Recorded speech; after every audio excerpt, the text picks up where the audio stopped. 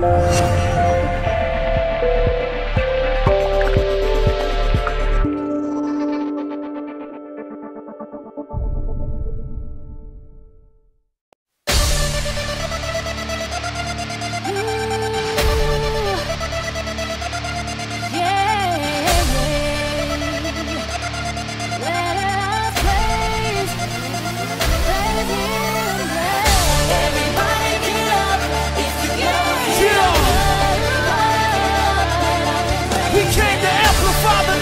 Jesus. Get up on your feet. Let's go.